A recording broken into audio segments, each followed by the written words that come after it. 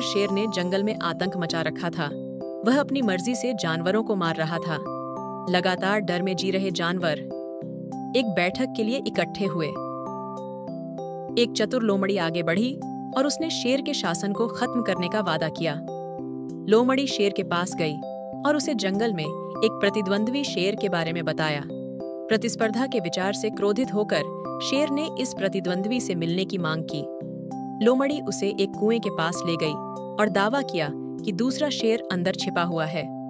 शेर ने कुएँ में झांका और पानी में अपना प्रतिबिंब देखा।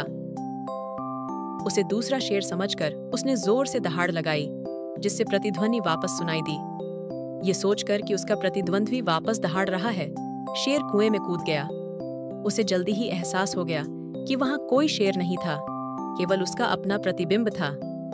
शेर ने पानी में संघर्ष किया, लेकिन वह भागने में बहुत भारी था।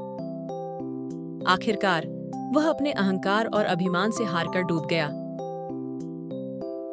लोमड़ी जानवरों के पास लौटी और उन्हें शेर की मौत की खबर दी।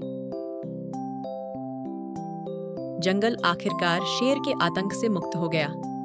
जानवरों ने लोमड़ी की चतुराई और साहस की प्रशंसा की। जंगल में एक बार फिर शांति और सद्भाव लौट आया।